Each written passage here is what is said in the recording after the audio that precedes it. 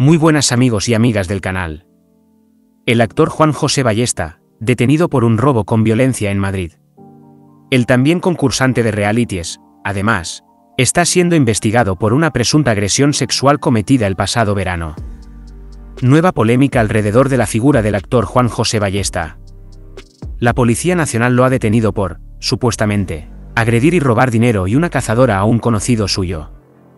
Los hechos tuvieron lugar en el distrito madrileño de Hortaleza, tal y como han informado a F fuentes policiales.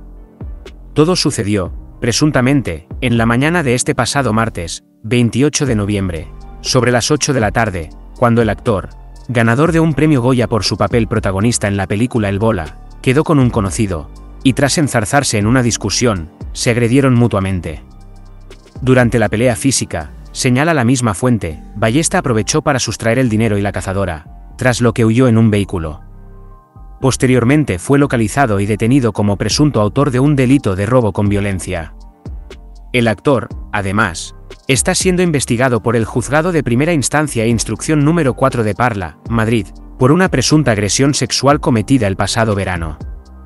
Fue en octubre cuando se conoció la noticia de que el intérprete madrileño y un amigo suyo habían sido denunciados por una amiga de la infancia, acusados de haberla agredido sexualmente en un piso de Parla. Como siempre te invito a que comentes esta noticia, pero antes recuerda suscribirte, para no perderte más vídeos como este, nos vemos en el próximo vídeo y muchas gracias por estar ahí.